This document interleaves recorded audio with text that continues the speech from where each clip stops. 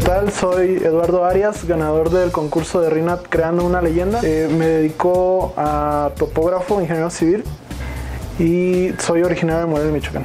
Eh, bueno, espero en la visita a la, a la fábrica conocer el proceso de fabricación de los guantes, el proceso desde el diseño hasta cómo se, se ensamblan.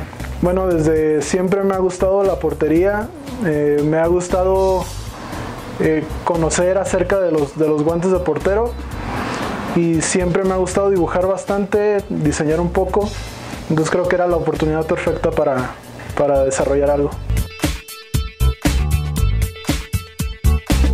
Ha sido muy interesante ver cómo se desglosa una idea en varias partes para después pasarlo a una producción poquito más grande.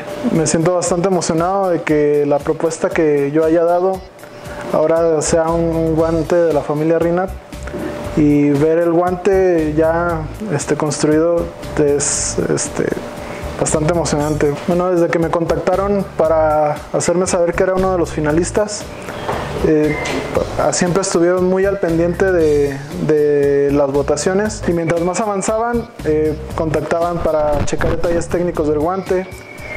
En mi caso me, me contactaron para decirme que las especificaciones que yo había propuesto no eran compatibles con el diseño y me consultaron. Eh, yo, claro, este, sabiendo que ellos son los expertos en guantes, accedí a que los, los cambios los propusieran ellos.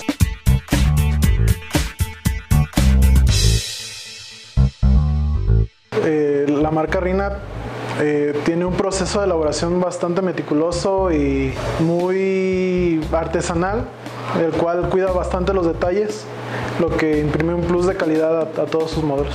Bueno, si hay alguna duda sobre este modelo, no queda más que ir a la tienda y verlo por sí mismo. Es un guante bastante bien elaborado, muy bien armado, muy cómodo y pasa cualquier prueba, sin duda. Me da gusto haber visto que Rinat es la única marca en el mundo que produce sus propios guantes, no tiene una fábrica externa y eso habla bastante bien de ellos.